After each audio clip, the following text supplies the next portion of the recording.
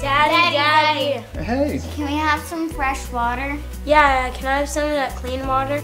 Ever since Trevor got a Kenai water system, the whole neighborhood's talking about it. Best decision I ever made.